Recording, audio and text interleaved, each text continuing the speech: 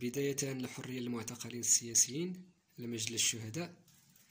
آلاف التحرير كافة الشعوب توقع لغاية الحرية والانعتاق بادئا ببدء بشعبنا المغربي.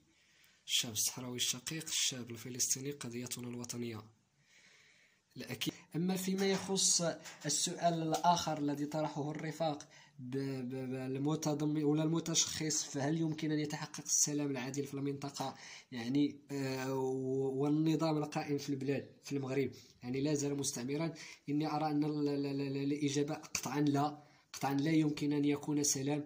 في لا يمكن أن يكون هناك سلام بين القتلة وبين وبين عائلة المقتولين كما يقال لأن لأن السلام الوحيد الذي أراه والذي يراه كافة يعني الذين يحللون الأمور يعني بعين ناقدة بعين علمية هو الجلاء أداء المستعمر من تلك المنطقة. لا يمكن أن يكون سلام وستبقى المنطقة خاضعة للتوترات خاضعة كذلك التجاذبات العسكرية والسياسية كذلك.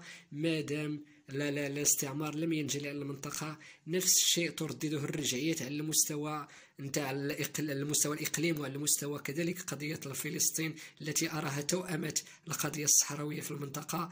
لا يمكن أن يكون هناك سلام بين الغاصبين نتاع الأرض وبين أبناء الأرض. هناك كما كما كما أرى صراع سيبقى دائما صراع إلى يعني الحتمية الإجابة الحتمية التي آه، يؤمن بها كل الصحراويين الغيورين على منطقتهم وهو الاستقلال والدولة الصحراوية.